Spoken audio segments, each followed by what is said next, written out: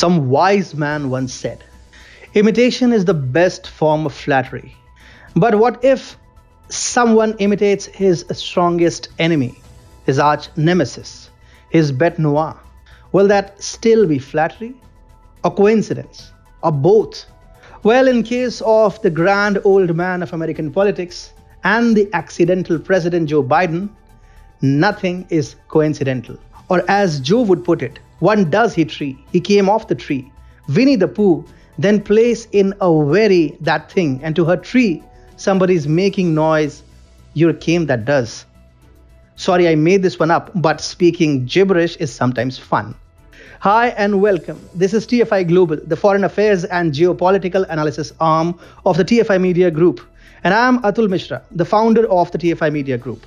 In this video, I will tell you about the excellent plagiarism skills of Joe Biden and how he could be Trump's biggest fan. Remember all the promises which Joe Biden made during the presidential campaign trail last year? Biden claimed that the US lost global leadership under the Trump administration and that Biden would bring in a team of experienced administration who would restore American leadership. After coming to power, Biden proclaimed, America is back. Well, America was right where it was on the map, on the planet, and in global affairs. It was not like America decided to not exist for some time. Who is writing this guy's speeches anyway? So, despite promising a radical change in America's foreign policies, Biden is simply repackaging Trump era policies and calling them his own. To be fair to the man, he did want to make some changes in foreign policy. But American allies restrained him. Poor Joe. Restrained at Oval Office by Pelosi and Harris, restrained at home by Dr. Jill, and restrained by allies outside America. Anyway, let's see how the Biden administration is repackaging and rebranding Trump era policies. For the sake of convenience and from the traditional American foreign policy, the globe is to be divided into four parts. Number one, the Middle East. Now, this has to be the most complicated region for any US president. Trump, however, kept it simple. He kept his promise of not waging any new wars in the region throughout his tenure. President Trump also relied on his key allies, Israel and the Arabs. And by the end of his term, he also managed to broker peace deals dubbed Abraham Accords between some Arab nations and Israel. His policies were calculated to create a united front against Iran, which led to the maximum pressure policy in order to rein in Tehran's nuclear ambitions. Biden, on the other hand, started off in a clumsy and awkward manner. The sitting US president couldn't look above his hatred for Trump and started backstabbing Israel's Prime Minister Benjamin Netanyahu, who is considered a close ally of Trump. Biden also tried to strong arm the Arabs with plans to snub Saudi Arabia's de facto leader, Crown Prince Mohammed bin Salman. Also, in line with his former boss Obama's policies, Biden tried to go soft on Iran. But it did not take long before things started moving back to normal. Israeli pressure has forced Biden to behave and maintain a safe distance from Tehran. The US president also felt compelled to reaffirm the US Israel bonhomie. Also, at least on an official level, Biden backs the Trump era Abraham Accords. In the Middle East, Biden is doing what Trump was doing. Biden administration's remarks against Saudi Arabian crown prince are perhaps the only exception, but that too can fade away very quickly. Moving on to the next region, the Indo-Pacific.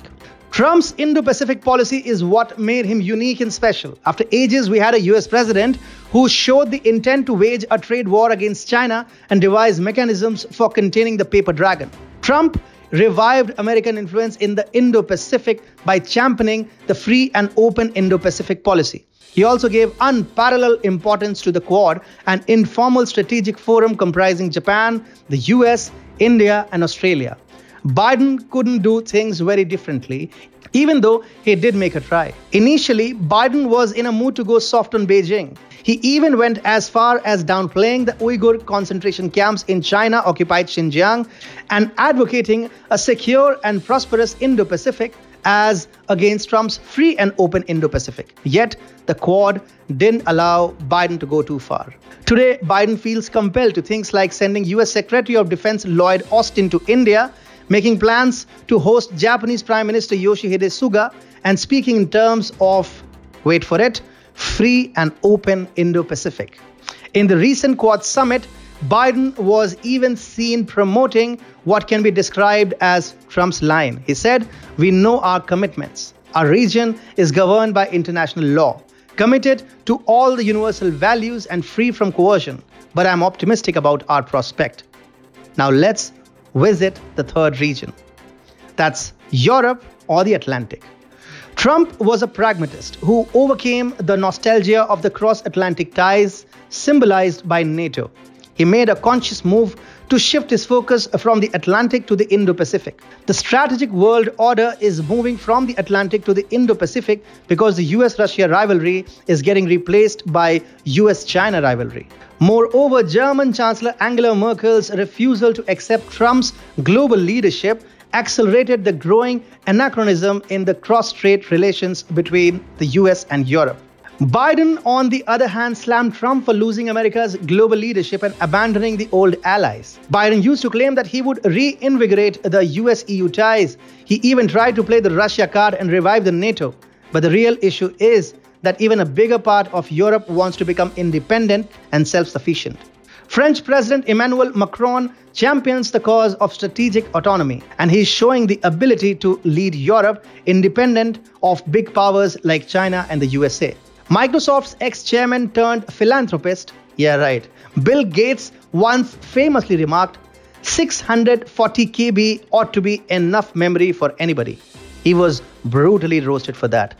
But now we know that quote was ahead of its time as Biden completely forgot his love for US EU ties, or probably the data exceeded his 640 KB memory threshold.